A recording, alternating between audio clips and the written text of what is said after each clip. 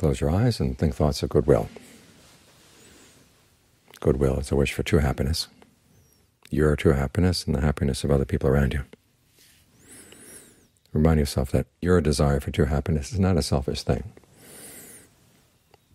If you keep providing yourself with temporary, fragile forms of happiness, you're going to be irritable. You're going to take it out on others. But if your happiness is solid inside, there's nothing to take out on others. That way you're lessening the burden that you place on them.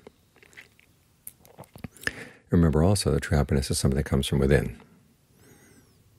It comes from developing your own inner resources, which means that your true happiness doesn't conflict with anyone else's true happiness.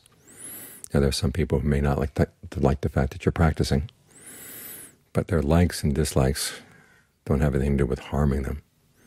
And harming them is when you steal from them or get them to steal.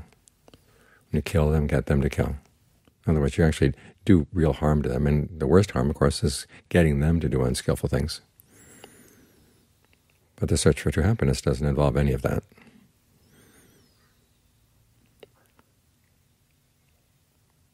So this is a good thought to think, because it takes down barriers, barriers between you and other people, people, even people between you and people you like, and all the more so between you and people you don't like. You don't want your likes and dislikes to take over, because Ajaan Suwat used to comment many times, it's our likes and dislikes that are craving, and it's a cause of suffering.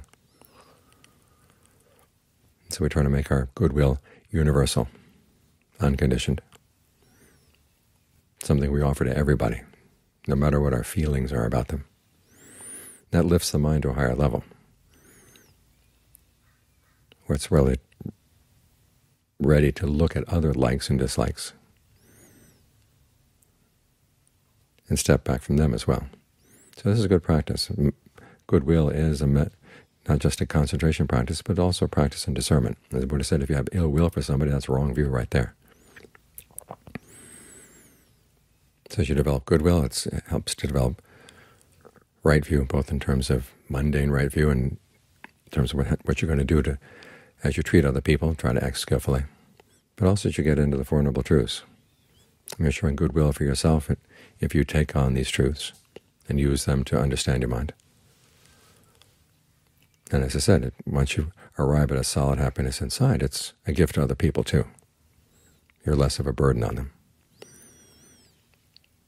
So goodwill is something you can spread all around. It helps bring the mind to calm and helps bring the mind to insight. So it's a good practice to make the framework of your day. I said Ajaan Mun used to begin every day when he woke up, spread thoughts of goodwill. When he woke up from his nap in the afternoon, he'd spread thoughts of goodwill before he went to sleep at night, spread thoughts of goodwill, all beings, everywhere. That's a good framework for our entire life. We come to life not in terms of what we want, but in the goodness that we would like to see, realizing the goodness has to begin with us. That's a really good perspective to take on things.